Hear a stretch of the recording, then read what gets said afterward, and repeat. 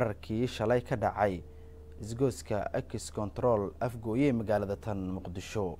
Waryaheena cabdulaahi axmed nuur ayaa dhammaystiraya warbixintan. Diyaaraddan oo ay soo dirtay dowladda waddanka turkiga ayaa siday dhakhaatiir iyo gargaar caafimaad?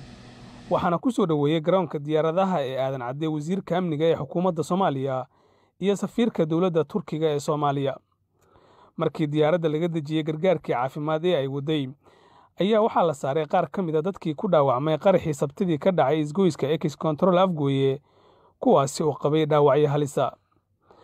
Diyaaraddan oo ahayd kuwa ciidamada ayaa sidoo kale muqdisho ka qaaday meydadka laba injineer kuwaasi oo ka mid ahaa dadkii ku geeriyooday qaraxii shalay ka dhacay magaalada muqdisho waxaana labadan muwaadin oo u dhashay waddanka turkiga ay ahaayeen injineero dhisayey waddada isku xirta muqdisho iyo afgooye madaxweynaha soomaaliya maxamed cabdulaahi farmaajo ayaa dhankiisa tegey garoonka aadan cadde waxuuna kor meeray dadka dhaawacyada ah ee turkiga loo qaaday kuwaasi oo tiradoodu ay gaarayso lix iyo toban ruux. Maxamed abuukar islow wasiirka amniga gudaha ee xukuumadda soomaaliya iyo guddoomiyaha gobolka banaadir ahna duqa muqdisho ayaa warfidiyeenka kula hadlay garoonka aadan cadde xilligaas qaruxu dhacay ilaa wakhtiga hadda aan joogno waxa ay ku jireen gurmad loo fidinayo dadkii ku waxyeeloobay waxaa noo suuro galay dadaal badan kadib lix iyo toban ka mid ah dadkii ku waxyeeloobay qaraxaas in loo qaado dalka turkiga ee aan walaalaha nahay. Waxaa ila taagan halkan wasiirka amniga qaranka safiirka turkiga u fadhiya soomaaliya. Marka dadka la qaado waa lix iyo toban safiirka un eragaas qalday waa ka lix iyo toban qof meesha ugu dambeeyey dadka la qaaday waxaa kaloo jirto hadduu ilaahay yidhaahdo dhakhaatiir halkan noo yimaadeen turki ah. Qaar diyaaradda ay ku noqdeen qaarna ilaa tobaneeyin halkaan ay ku hareen iyo daawooyinkii iyagoo dadka fudud dhaawacyadooda halkan ku daaweyn doono. Dowladda soomaaliya mar qaarkood waxaa la doorbidaa in dadka labado qof oo hadda dhaawaciisa fudud dhakhtarka turkiga oo halkaas joogin meesha noogu yimid ay joogi doonaan daawooyinkoona ay wataan sidoo kale hadduu ilaahay yaraado beritan waxaa imaan doona dowladda aan walaalaanahay ee qatar ah ayagana ilaahay duuraha yaro diyaarad soo diri doontaa. Dadka kale dhaawaca haray oo ayagana darnaa insha allah. Beriyaan diri doona biidnillahi kariim. Waxaan rabaa halkan ummadda soomaaliyeed inaan soo gudbiyo dowladda federaalka iyo dowladda goboleedyada ma nasanin markuu dhibka dhici lahaa hadda. Dowladda turkiga ayaa noqotay dowladdii ugu horreysay ee ka jawaabta codsiga dowladda federaalka soomaaliya waxaana sidoo kale la filayaa in maalinta beriha muqdisho ay timaaddo diyaarad ay leedahay dowladda waddanka qatar taasi oo la filayo in iyana ay muqdisho ka qaaddo. Qaar ka mid a dadka dhaawacyada ah ee weli jiifa cisbitaallada magaalada. Cabdulaahi axmed nuur universal t v muqdisho. Dhinaca kalena waxaa dayactir lagu sameynayaa goobihii shalay ku burburay qaraxii shalay ka dhacay ekis control afgooye magaalada muqdisho waryaheena maxamed ibraahim bulbul ayaa goobtaasi tegay sheekadan inooga diyaariyey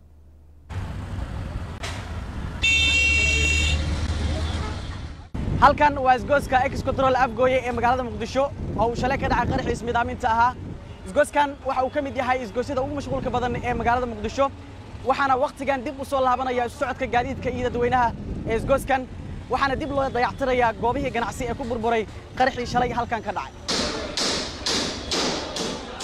ee shalay ku burburay qaraxii ismiidaaminta ahaa ayaa dib loo dayactirayaa waxaana goobta kula hadalnay qaar ka mid ah dadkii ka badbaaday qaraxii ismiidaaminta ahaa ee shalay ka dhacay halkan waxayna universal uga warbixiyeen waxa ay shalay halkan ku arkeen aniga waxaan dadka halkaa ku noolahay labaatan iyo shan sana halkaas ku noolahay nolol iyo geeri labadaba ay ku soo martaana midda shalay meeshaan ka dhacdayna weli kamaysa dhicin iyadoo beelaa isku digaaleen iyadoo wax walba ay mareen iyadoo qaraxyo ay ka dhaceen. Laakiin weli lama soo marin tii shalay meeshaan ka dhacay dadka deegaanka haddaannahay ama dadka halkaan ku ganacsanaayo oo halkaan ku noolahay dhowr iyo toban dhowr iyo labaatan sana weli lama soo marin tii shalay meeshaan ka dhacday mid caloolxumo leh oo weli annaga aana arag baa meeshaan ka dhacday waxaa ka mid ahay waxaan garan waayo qof dhan oo lakala goyn la ogo meel yeello oon soo kormaray waxaa ka mid ahay hilbo kala gogo'on oo kala fardhisan oo haadda ay wada qaadanayso وهالكاس كوارك أيضا ماشان إلا برحدة ميد ورن أيا ميد بركة دعوة عن العرونة يا ميد ده كي ميد كه واحد كاروش إلا لحد إني أشنقف أيا واحد كسارة أمبلاست كده بعني يا نوع كلا نقضي أنت إلا بناكر ماشة جيت كاس واحد كسر سارة قف أنت عن قن أيا كسر سارة جيت كل كيسي برحدة نورن ميدا ورنا مركه ilaa lixdan iyo shan qof intii anigaan goobjoog ka ahaa ayaa ambalaas aan saarnay. Marka meeshaan ilaahay maarata inta ka dhamata ilaah u naariso dhibaato aad weynaa ka dhacday. Waxa uu noqonayaa qaraxan kii ugu dhimashada badnaa ee ka dhaca magaalada muqdisho laba sanno gudahood waxaana qaraxan loo adeegsaday gaari laga soo buuxiyey walxaha qarxa islamarkaana uu waday qof naftii huro ah kaas oo bartilmaameedsaday saldhig ay ciidamada ammaanka ku lahaayeen isgoyska ex control afgoye مقدشو إلا إيو هادا مجرتو عد أما كوحسي رسميها أشيغتي مسؤولية دا ويركي شلي هالكان كدعي لكن دولادة صوماليا أياه كوئي دا يساي ويركان إنا يكدن بيسو الشباب. محمد إبراهيم بولبول يونيفرسال تي مقدشو. Maamulkii odayaasha gobolka midigaali gobolka sanaag ayaa waxa ay ka hadleen waa deegaanka midigaali gobolka sanaag. Iska horimaad sababay khasaare kala duwan oo dhex maray maleeshiya hubeysan iyo sidoo kale ilaalada guddoomiyaha baarlamaanka puntland. Maxamed medin ayaa warkan boosaaso ka soo diray taliyo ku-xigeenka labaad ee booliska puntland caydiid axmed nuur iyo laba qof oo rayid ah ayaa ku dhaawacmay shaqaaqo dhex martay shacabka magaalada midigale ee gobolka sanaag iyo wafdi uu hogaaminayay guddoomiyaha baarlamanka puntland abwaan cabdirashiid yuusuf jibriil. Maamulka deegaanka midigale cawad cali xiirey guddoomiyaha deegaanka midigale cawad cali xiirey iyo qaar ka mid a odayaasha dhaqanka deegaanka midigale ayaa ku eedeeyey guddoomiye cabdirashiid yuusuf jibriil inuu isagu sababteeda lahaa dhibaatada dhacday.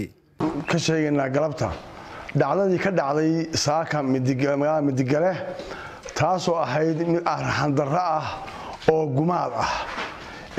Halkan waxaan ka diyaarinay soo dhoweyn golaha xukuumadda iyo golaha sharcidiinta baarlamaanka oo ilaa raas baarlamaankoodii wata. Runtii waxaan ugu talagalnay gogoldhil iyo soo dhoweyn inaan soo dhoweynayno inaan rabno inaanu waraysanno annaguna ka warranno deegaanka. Isla markiiba markii la sheegay carruur yaryar anaga waxaan aadnay xaggii bariga ahayd ee kontaroolka oolaa ciidan boolisaa joogay meel durugsan. Meel u dhexeeya ciidanka iyo magaalada oo geeska magaalada bari ah ayaa caruurtaas yararka ay tagtay. Caruurta annagoo qaqabanayna oo meesha ka eriyeenna oo anigu aan ku dhex jiro anigoo ah guddoomiye magaalada ayaa xabad waxaa laga soo bilaabay masaafo u jirta saddex kilomitr magaalada. Iyagoona magaalada soo gaarin xabaddii ay ka soo bilaabeen saddex kilomitr waxay la soo galeen gudaha magaalada. Halkaa waxaa ka dhacay carruur dhagax tuureysa iyo ciidamadii puntland oo xabad dhishiika ah la dhacayo waa kan dhishiikihii waa kan dhishiikihii waa kan aakihii waa kuwa rasaasta lala dhacayay meesha. Waxay ku dhacday laba arday oo midna la yidhaahdo maxamed faysal faarax oo secondary ah iyo mid la yidhaahdo cali maxamed cali dalmar oo ah dugsi hoose ah.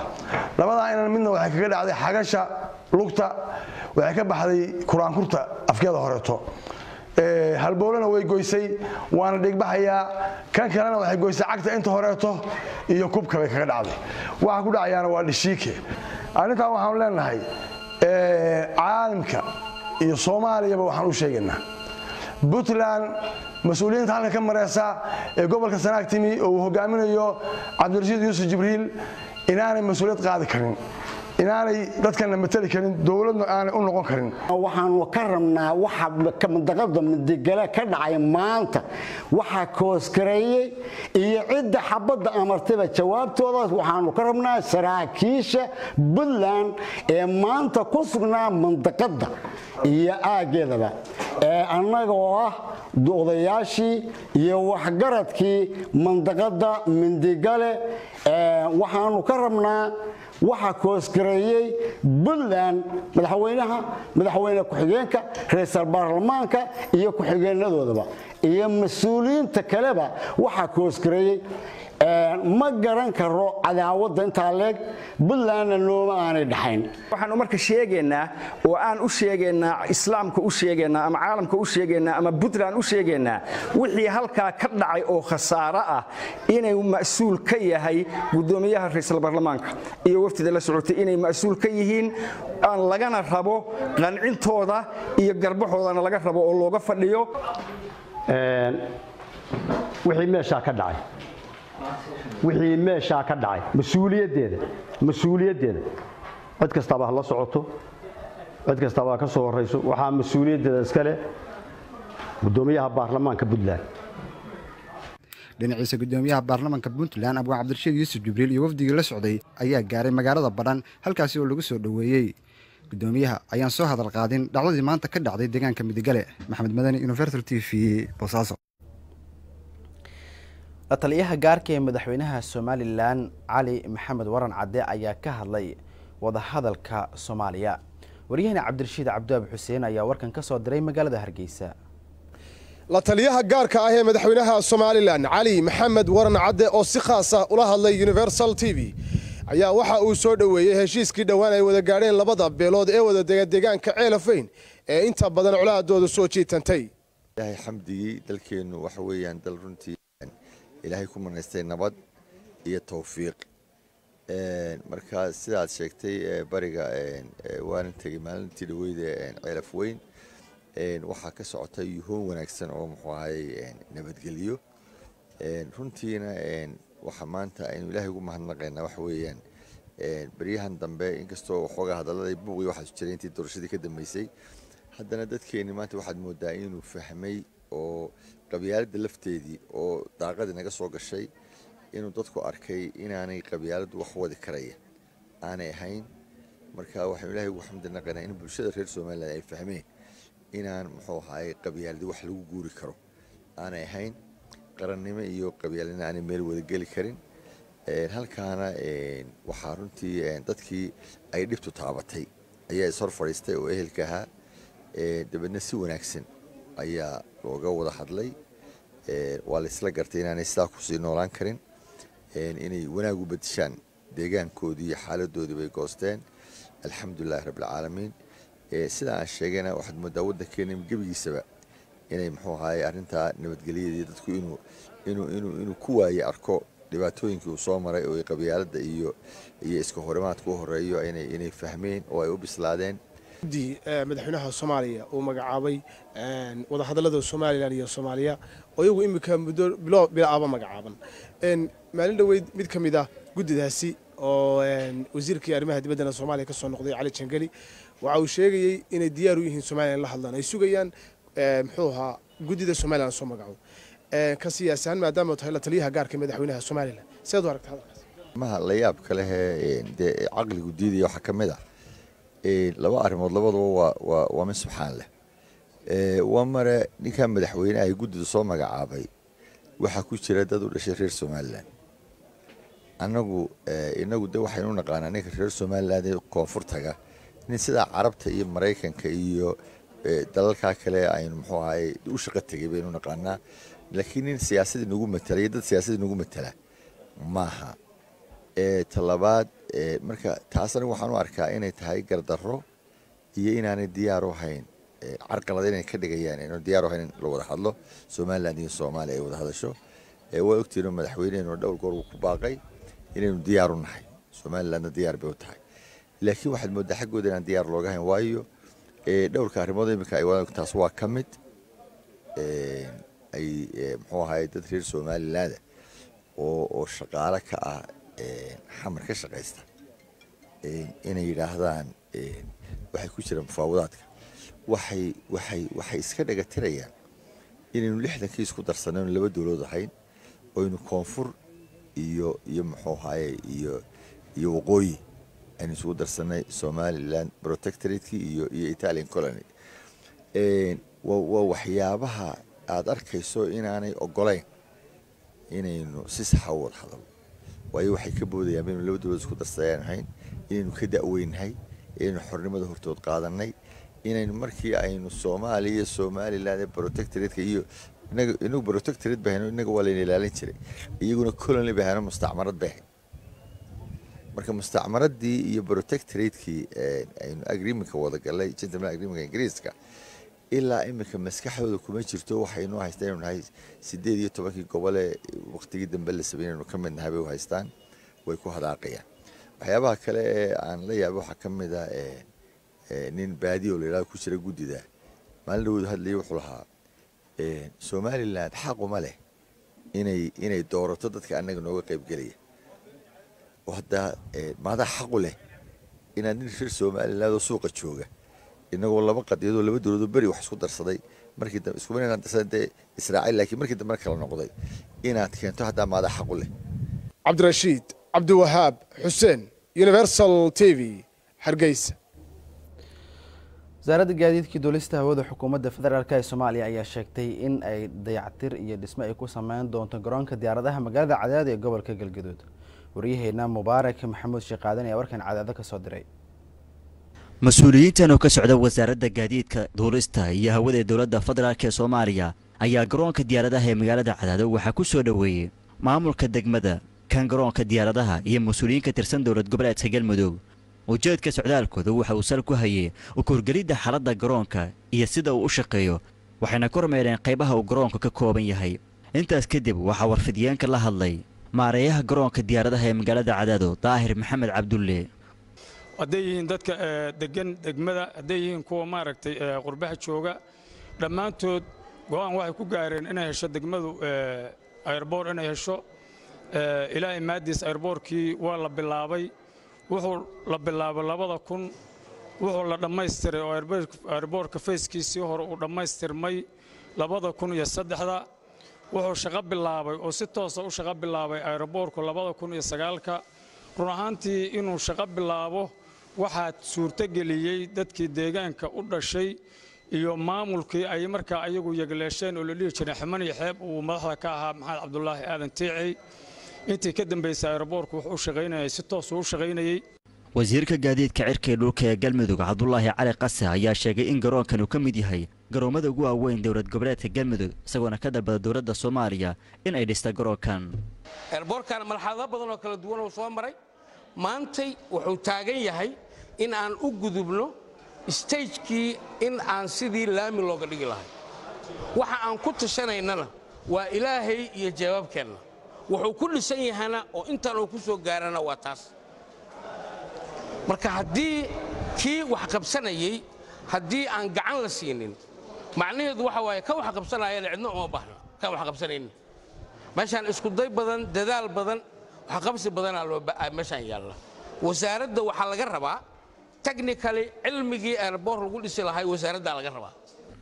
Maareeyaha hay'adda duulista hawada axmed macali xasan iyo cali gacal gaabow agaasimaha wasaaradda gaadiidka duulista iyo hawada ee dowladda soomaaliya ayaa sheegay in dowladda soomaaliya ay ka go'an tahay dhismaha garoonkan. Insha allahu tacaala waa socodkeennan waa assessment inaan ku samayno heerka garoonka cadaado uu taagan yahay.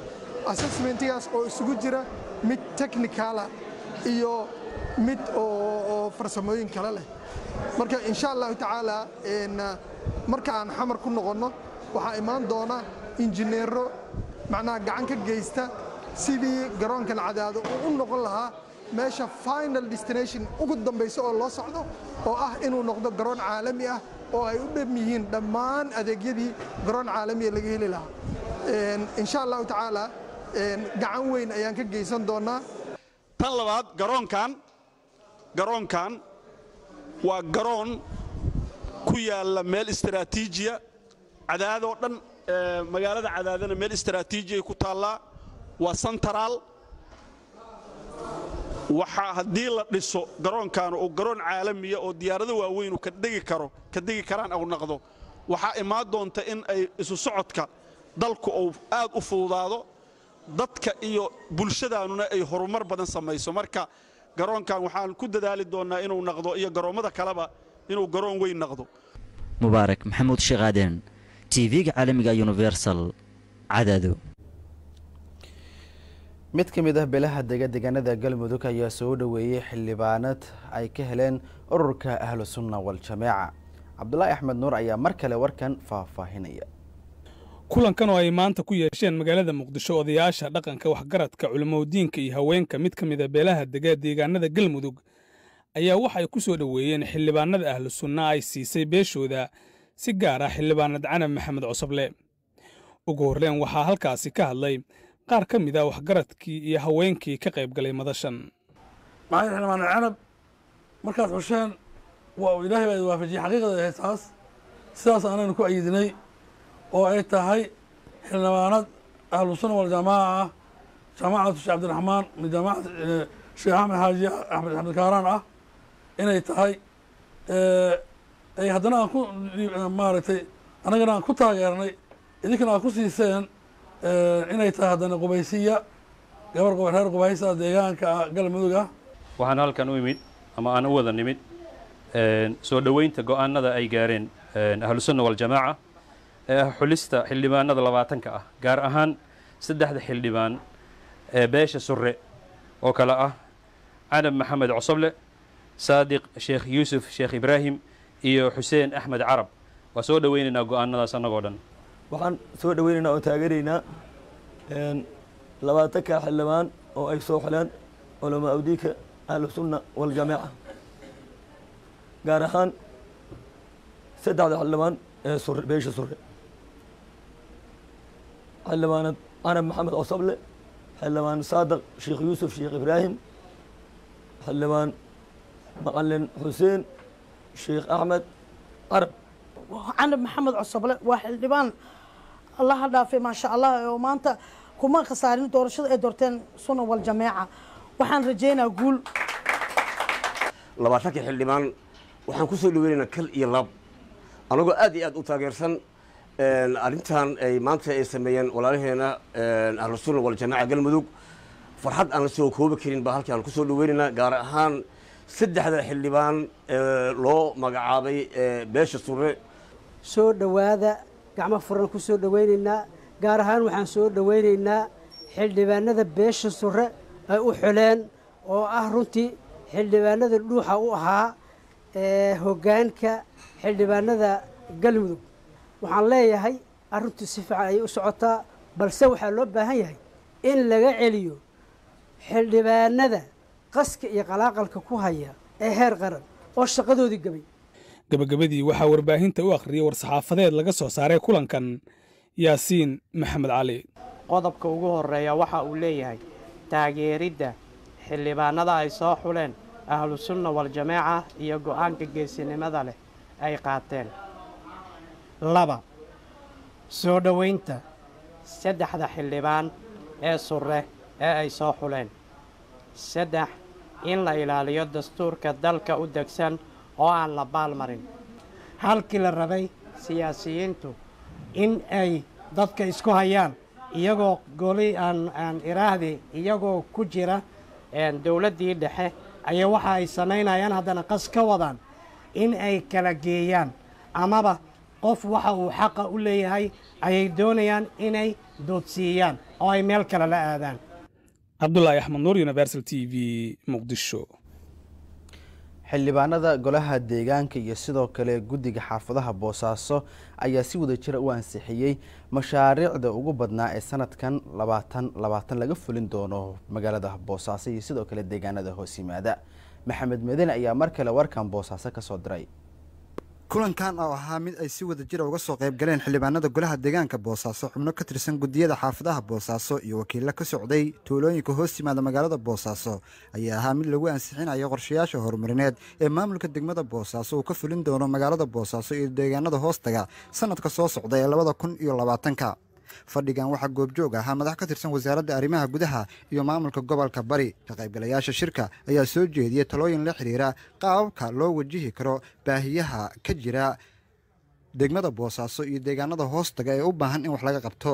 Sidaa halkaa ku arkayseen presentationka nalala wadaagay wuxuuna tusinayaa baahiyihii laga soo aruuriyey dhammaan qaybaha kala duwan. Maanta marka waxaa u joognaa meeshaan in mashaariicda halkaa lagu soo bandhigay inaan makhraati ka noqonno hubintooda iyo kormeerkoodana aan ku samayno. Ujeedka annaga maantay wasaaraddu ay u joogto waxay tahay inay hubiso in degmada boosaaso ay raacday habraacaas. Habraacaaseeto oo ku salaysan buugga la yidhaahda horumarka degmada oo la yidhahda d d f-ka. Buuggaaseeto waa markii labaad ee degmooyinka loo sameeyey oo ay ka mid tahay degmada boosaaso dhowr iyo labaatankaa mashruuc. Sanadka dambe ugu gudbeen ee sanadka ay u wada hirgeli lahaayeen inaynu dhammaanteen xooggeenna isugu geyno wax kasta oo lagu dadaalo ama awoodda la awoodayaana dee waa laga miro dhaliyaa. Duqa degmada boosaaso cabdisalaam bashiir cabdisalaan ayaa kulanka ka hadlay. Sida wada ogsoonnahay labada kun iyo sagaal iyo tobankii halkaana isugu nimi waxaynu ansixinnay mashaariic tiradoodu dhan tahay ama qorshayaal tiradoodu ee dhan tahay ilaa labaatan iyo saddex qorshe. Wasaaradda arrimaha gudaha waynala joogtaa waaxdii qorshaynta iyo saraakiishii kaloo ka socota iyo wasiirkiiba. Waxaa la gelinayaa isheeg muxuu qorshaha rasmiga ee sanadkaas. Waxaa kaloo rajo ka qabnaa sanadkan inay degmadu ka mid noqoto degmooyinka ka qayb qaadan doona mashaariicda wall bankiga. Inta ugu badan baahiyaha horta waxay iskaga soo ururayaan waddo. Xaafaddu waddo ma leh tuuladu waddo ma leh. Baahidii deegaanka wuxuu u mooda u moodaa in g b g-yada iyo waxyaalaha looga faa'iidaysanayo waddooyinka keliya aysan ahayn. Waddooyin badanoo waxaa jira labada kun iyo sagaal iyo tobankii qorshaha ahayd in iyaga wax laga qabto oo laga tegey. Waxaanu qorshe u haynaa jaanka qow oo aanu aanu annaga iyo ka wada shaqayn doono isheeg muxuu aha w f b aanu ku ballannay haddii allah wadala idmo sidoo kale waxaanu aanu aanu qorshe u haynaa waddada ka degta isheeg muxuu ahaa tuulada karin oo iyadana sidoo kaleeto intaas waddo hal kilomitir halka aanu saari doono ugu dambeyntii wasiiru dowlaha wasaaradda arrimaha gudaha puntland ayaa soo xiray shirka. Mashaariic fara badan ayaa dalka socda saa ogtihiin. Oo kuwan ansixinayno oo labaiyo labaatanka mashruuc aynu ansixinayno ka mid yihiin. Waxaa kaloo jira mashaariic fara badan oo xataa barayfad ah oo laga hirgelinayo boosaaso faa'iidooyin badan baa inoo ku jira. Dadkaa shaqo helaya horumar baa la gaaraya dhaqaalaha dalka soo gelaya waana qorshihii bay daba socdaan. Maalgashiga madaxweyne saciid cabdilaahi dane uu ku qabtay garowe. Marka mashaariicdaas waxaa laga rabaa reer boosaasood. Waa dhan tihiin saakay. Madaxdii xaafadaha oo dhan iyo madaxdii sareba waa fadhidaan. Inaa u diyaar garowdaan maxamed madane universal t v boosaaso qurbo joogta ku dhaqan north america ka soo jeeda deegaanka jeexdin ayaa waxa ay baaq u direen dowlad deegaanka soomaalida iyo sidoo kale dowladda federaalk ethoobiya maxamed deeq muuse nuur deeq darajo ayaa warkan dalka mareykanka ka soo diray. Kulan ballaaran ay isugu yimaadeen qurba joogta north america ee ka soo jeedaha deegaanka jeexdin ayaa waxa ay baaq u direen dowlad deegaanka soomaalida iyo dowladda federaalka etoobiya kulankan ay ka soo qayb galeen aqoon-yahanada odayaasha haweenka iyo dhallinyarada. Dadkii ka hadlay waxaa ka mid ahaa sheekh maxamed daqane. Gobolku dhibaatooyin fara badan oo deegaanka ka jirtay wuu xallini karaa. Nabadgelyada shidaalkana wuu xallin karaa. Nabadgelyada deegaankana wuu xallini karahaya marka waxaanu codsanaynaa oo aanu aad iyo aad u codsanaynaa dowlad deegaanka iyo dowladda federaalkaba aanu ka codsanaynaa in gobolkaas naloogu dhawaaqo dowladda deegaankuna ay codsiga noo gudbiso dowladda federaalkuna ay noo soo ogolaato. Gobolkaasu isagaa isku filan uma baahna kaalmo dowladeed kaalmana kama raba dowladda. Shidaalkiisa iyo waxa uu ka helo iyo canshuurtaas yar ah ku filan. Marka miisaaniyad ahaan dowladda wuu ka maarmaa. Waxaanu codsanaynaa gobolka iyada ah in dowladda federaalku ay noo ogolaato. Intaas kadib qodobadii shirka ka soo baxay waxaa saxaafadda u akhriyey xasan haye nuur anigoo ku hadlaya magaca qurba joogta north america ee ka soo jeeda deegaanka jeexdin ee degmooyinka shilaabo haarcad dhooboweyn higlooley iyo qallaafe oo ah kuwa degan goobta shidaalka laga helay guud ahaan deegaanka soomaalidu ay degto ilaa xuduudda degmooyinka feerfeer boorcukur mustaxiil waxaan soo jeedinaynaa oo dowladda federaalka etoobiya iyo deegaanka soomaalida aan u muujinaynaa inay sida ugu dhaqso badan u xalliyaan cabashooyinka shacabka deegaanka oo aada u soo xoogaysanaysa. Number one xagga shidaalka. In federaalka etoobiya iyo wasaaradda macdanta iyo gaaska dabiiciga ah ee ethoobiya ay si cadaalad ah u fuliyaan ujeedooyinka iyo waajibaadka ka saaran dhowrista xuquuqda dadka deegaanka iyo duunyadaba. Kasbashada aaminaadda dadweynaha ballaarinta horumarka deegaanada shidaalka laga qodayo si ay u helaan rajooyin sidii dadweynuhu ay u helaan rajooyinkii ay ka filayeen khayraadka laga helay waddankooda. Ilaalinta saxada bii-ada iyo in la aruuriyo lana kaydiyo. Dadka deegaankaas ku waxyeeloobay. In lala xisaabtamo shirkadaha shidaalka qoda islamarkaana ay ku dhaqmaan xeerarka caalamiga ah ee qeexaya xuquuqaha iyo dastuurka shidaalka. Intaasi waa shidaalka xagga horumarka. In gurmad deg deg ah oo ku wajahan xagga horumarinta biyaha ceelasha iyo waddooyinka isku xira deegaanadaas la helo. In laga horumariyo xagga waxbarashada wax soo saarka beeraha iyo suuqgeynta xoolaha iyo xagga caafimaadka. In la abuuro shaqooyin lana ilaaliyo xuquuqda shaqaalaynta shaqsiga ah ama midda shirkadaha deegaanka deeq darajo universal t v minnesota shacabka ku dhaqan gobolka gado ayaa ka codsaday shirkadda isgaarsiinta hormuud inay dib u soo celiso xarumihii shirkadda hormuud ay ku lahayd gobolka gado kuwaasoo ay burburiyeen ciidamada dalka kenya. Maxamed cali weheliye ayaa ka waramaya dadka ka soo jeeda gobolka gado ayaa shirkadda isgaarsiinta hormuud ka codsaday inay dib ugu dhisto xarumihii shirkaddaasi oo ay burburiyeen ciidamada dowladda kenya iyadoona dowladda federaalka soomaaliya ka dalbaday in ay kenya kala hadasho burburinta ateenooyinka shirkadaha isgaarsiinta ee gobolkaasi. Odayaal dhallinyaro iyo maamulka degmada baardheere oo saxaafadda kula hadlay magaalada muqdisho ayaa sheegay in ay bulshada gobolka gado ay haysato baahiyaha dhanka isgaarsiinta. Ay shirkadda isgaarsiinta hormuud ka codsadeen inay dib ugu dhisto siddeedda xarumood ee shirkaddaasi oo ay kenya horay u burburisay dowladda soomaaliyana ay ka codsadeen inay kala shaqayso ammaanka. Masiibadii dhacday oy noo geysteen ciidamada kenya oo dadkanaga iyo dalkanagaba lagu burburiyey oo dad badan nooga dhammaaday oo dabadeed lagu qatimay shirkadihii maalihii ka taagnaa oo war isgaadhsiinta ahaa oo dadka iyo dalkaba u adeegahayay lagu burburiyey. Gurmadkii ay ka geysteen. Kow kuwii soo jabay oo la burburiyey oo soo jabay waxqabadkay u geysteen iyo soo dhowayntii iyo wixii gacan ay ka siiyeen kolkay fatahaaduhu dhaceen iyo dhibaatadii nagu dhacday qaybta ay ka qaateen aad iyo aad baan ugu mahad celinaynaa abaalkaasna waa u haynaa shirkadda hormuud. Isbitaalka buurdhubo yaan idinla dhisaynaa oo tabartanad iyo wixii nalaga eg yaan ka qabanaynaa shirkadda hormuud bay naga soo gaartay waa ugu hambalyaynaynaa waa ugu ducaynaynaa. Loo burburiyey dadka ii sheega iyada ay u caroonaysana annaga aan ahayn oo dadweynaha masaakiinta oo meesha degan laga burburiyey arrinteeda waxaan ka codsanaynaa hormuud inay arrinteeda noo soo celiso oo shirkadda dib noogu dhisto si ay ugu faa'iidaystaan dadweynaha. Ii sheeg meesha sido oo dheer degan waxaan dowladda federaalka ku boorinaynaa. Oonu ka codsanaynaa. Oo weliba aan ku ta'kiidinaya dalka iyadaa dowladdu u ahayd dhibaatada ciidamada kenya oo aan ka mid ahayn weliba amisom oo tumaya dadka shacabka iyo xoolahoodii iyo geeloodii iyo arigoodii iyo naftoodii inay wada hadal kala yeelato. Laga joojiyo dadka shacabka dhibaatada midda kale dhulka waxaa ka jira dowlad wax badan baa dowlad la'aan lahayn. Alla mahadii dowlad baa ka jidha. Dowladda dowlad baa la xisaabtanta. Waxaan dowladda ka codsanaynaa federaalka. Gobolka gedo dhib badan baa ka jira. Inay dowladdu u indha yeelato. Atoonooyinkii baa la burburinayaa xuduuddii baa lagu soo xadgudbayaa waana dowladda waxaa samaynaysa. Waxaan rabnaa dowladdu arrintaas inay u indha yeelato xuduuddaas inay ciidamo geyso ay atoonooyinkaas mar dambe la burburinayo difaaceeda ka qayb qaadataan dowladda ka rabnaa waxaan ka codsanaynaa hormuud inay ateenooyinkaas inay dhisto oo ay dayactirto ay dibna u dhistaan ka codsanaynaa.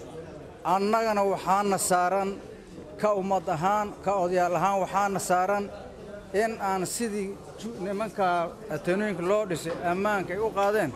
Ammaanka aan qaadno aan ka odayaal ahaan iyo ka deegaan ahaan baan iskugu tagno arrintaas aan xifdinno gudoomiyaha degmada baardheere ee gobolka gado cabdulaahi nuur xasan cadow waxaana shirkadda isgaarsiinta hormuud uu ka codsaday inay dib ugu dhisto xarumihii shirkaddaasi.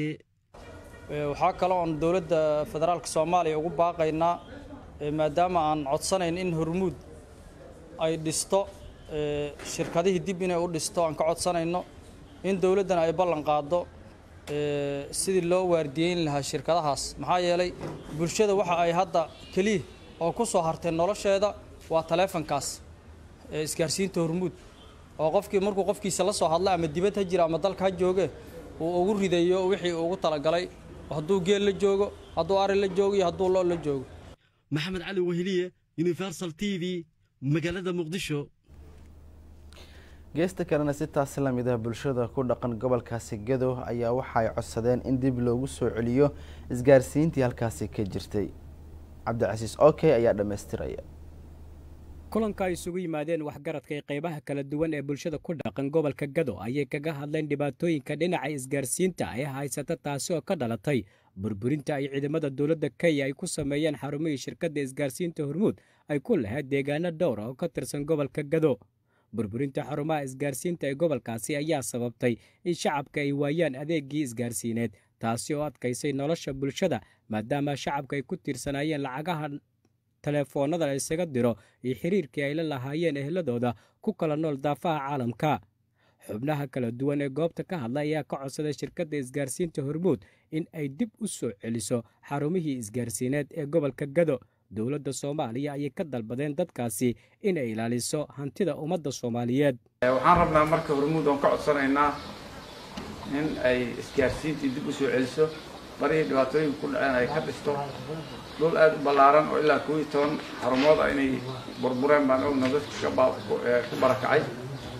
Waxaan codsanaynaa oon shirkadda hormuud ka codsanaynaa in ay soo celiso birihii inay noo dhisto. Waan ka codsanaynaa codsi ballaaran oo degmooyinka gobolka gado o dhan ka jira oo cabashadaasu ay gaartay. Ayaa waxaan ka codsanaynaa hormuud dowladda federaalka waxaan ka codsanaynaa in ay dhibaatada halkaas ka dhacday. Mar dambe inaysan soo noqon hormuud hawshaas hadday wax ka qabato in ay arrintaas ayada laftigeeda wixii ay ka geysan karto ay ka geysato. Dowladda laftigeeda waan ka codsanaynaa. Waxaanu shirkadda hormuud ka codsanaynaa. Waxyeeladii gaartay xadgudaha ay dowladda kenya geysatay. War isgaarsiintii ummadeed iyo dhaqaalihii ummadeed. Waxaanu codsanaynaa arrintaas iyada ah inay mar labaad dib ugu noqoto oo ay wax noo qabato ummaddan reegado oo saas dagaaladu u aafeeyeen. Kenya oo dhaqaalihii iyo hawlihii soomaaliya ay ku lahayd gobollada xuduudda xuduudda ay ku lahayd. Burburiyey oo birahoodii jejebiyey oo dhaqaalahoodii ku tuntay. Iyadana aad baan uga cabanaynaa waxaan rabnaa in haddii la ku leeyahay dhibaatada ay naga nagu haysa naga dayso. Waxaan dhibaato oon haysa deegaankaan aan la leenahay kenya. Intii badnayd birihii ku yaalay waa la burburiyey isgaarsiinta ah. Caawa geelinagii kama warrano wuxuu qaba haddaanay deegaankan gado maxaa yeelay xoolaha iyo dadku waxay isku wada raaci jireen ateenada hormuud bay isku raaci jireen. Qofka xoolaha la jira waxaa looga warqabi jiray ateenada ateenadii ma jirto maadaama hormuud ay u taagneyd xalka bulshada. Dhibaatadan haysana ay tahay go-doonkana kala hayo annaga iyo xoolahanaga ama annaga iyo dadkanagii waxaan ka codsanaynaa hormuud in ay arrintaas ayadaa wax ka qabato noona dhisto birahaas aan danaynayno. Annagoo ah odayaasha dhaqanka dhalinyarada haweenka culmo udiinka waxaan si wada jira ugu mahad celinaynaa shirkadda isgaarsiinta hormuud dadaaladii ay ku garab taagneed bulshada reegado sida taakulaynta dadkii ka soo qaxay deegaamadii ciidamada kenya ay duqeeyeen dib u dhisidda isbitaalka degmada buurdhugo iyo ka qayb qaadashaha howlihii fatahaadaha ee ka dhacay deegaanada gobolka gedo lamber labo waxaan ka codsanaynaa shirkadda isgaarsiinta hormuud in ay dib u howlgeliso dhammaan xarumihii shirkadda isgaarsiinta hormuud oo ay gubtay ciidamada kenya ayadoon ogsoonahay in aysan suurtagal ahayn in deegaamadaas dib loogu laabto isgaarsiin la'aan. Cabdicasiis ibraahim axmed okey t v-ga universal magaalada muqdisho. Isbitaalka gargaar ee ka howlgala magaalada hargeysa ayaa sameeyey qaliinkii ugu horreeyay oo laga fuliyo deegaanada somalilan. Waryaheena cabdirashiid cabdiwaab xuseen ayaa warkan hargeysa ka soo diray mar kale cisbitaalka gargaar ee magaalada hargeysa qeybtiisa wadnaha ayaa waxa ay maanta uu sameeyey qaliin markii ugu horreysay laga fuliyey somalilan kaasi oo ah in wadnaha la gelinayo baytari haddaba waxaa ka warbixiyey qaliinkani oo lagu fuliyey cabdi warsame xirsi oo ah bukaanka lagu fuliyey islamarkaana da-diisu ay tahay lix iyo siddeetan jir ayaa qaliinkani sidii u dhacay iyo weliba siday u fuliyeen. Waxaa ka warbixiyey dhaktar maxamed mustafa oo ah dhaktar hindiya siciid cabdilaahi axmed iyo maxamed xasan oo dhammaantoodba ka tirsan dhakhaatiirta cisbitaalka gargaar wadnaha I'm uh, Dr. Muhammad Mustafa, an interventional cardiologist from uh, Kerala, India. And uh, today, 29th December uh, 2019, is an important day in the medical history of Somaliland. Because, Alhamdulillah, we have done the first successful permanent pacemaker implantation at Ergeza at Gargar Hospital, Somaliland. And we had a 86 year old man who had a cardiac arrest and our team here at Gargar Metro Cardiac Center revived him actually by waxa weeyaan waxaanu ka hadalnay waqcaddii ugu horreysay ama beeshinkii ugu horreeyey ee waddankan somalilan iyo soomaaliya iyo inta badan geeska afrikaba meeshii ugu horreysay ee lagu sameeyo pacemaker pacemakerku waxa weeye oo maanta beeshinka lagu sameeyo yahay lix iyo siddeetan jir wadnuhu istaagay. Markuu wadnuhu istaagay ayaa halkan la keenay. Dabeetana gargaar hosbital iyo maxaa indho gargaar iyo tiimka halkan jooga ayaa wadnihiisii siday u soo nooleysiinayeen alxamdulilah soo nooleysiiyey oo dib u soo celiyay wadnuhu inuu shaqeeyo ku soo celiyey. Dabeetana marka wadnuhu shaqeeyey waxaa wadnuhu keligii ma shaqeyn karayo. Marka waxaa lagu xidhay waxaa loo yaqaano temporary pacemaker oo ah mid isagu wadnaha ka shaqaysiinaya oo waayira oon halkan ku arki doono oo halkan ku sharxi doono ayaa la geliyey. Saddex afar casho ka bacdi marka afar casho ka hor bay ahayd afar casho ka bacdi doctor mustafa oo ah indiya ka yimi oo ah ragga meesha khubarada ah interventional cardiologiska ayaa wuxuu keenay permanent pacemaker waxa loo yaqaan oo ah mid wadnaha lagu xidhayo waayo ninkan wadnihiisu shaqayn maayo marka waa baytari lagu xidhayo wadnaha. Halkan haddaan idinka tusana waa kan baytariga waxaa arkaysaan in waxaa laga gelinaya qaybtan halkan badax ayaa halkan muruqa u dhexeeya ayaa la hoos gelinaya oo waa aragtaan in muruqaasi hoos la geliyo. Gudaha laga gelinaya waayarka halkan gudaha marka la geliyo waayarka la xidhaya wadnaha la tegaya. Marka waayarkaasa tegaya imka wadnihii buu shaqaynaya marka waxaa imika baytrigiisu wadnihiisu keligii ma shaqaynayo kan baa shaqaynaya wadnaha kan baa baytrigan baa ku shaqaynaya waa baytrigaa ku shaqaynaya. Waana waxa ilaahay loogu madiyo marka maanta oo decembera oo laba kun iyo sagaal iyo tobankiya waa maalin aad iyo aad iyo aad ugu qiimo weyn. Waddankan aynu joogno iyo waxa inoo dhowba. Waana waxa ilaahay mahadi. Kolkaa waxa weyn dee dadka la ogeysiiyo in la heli karayo haddi kadib ummadeena dadweynadeena dee ku nool somaliland iyo soomaaliyadda agaarkaba in la iman karo centerkan oo la heli karayo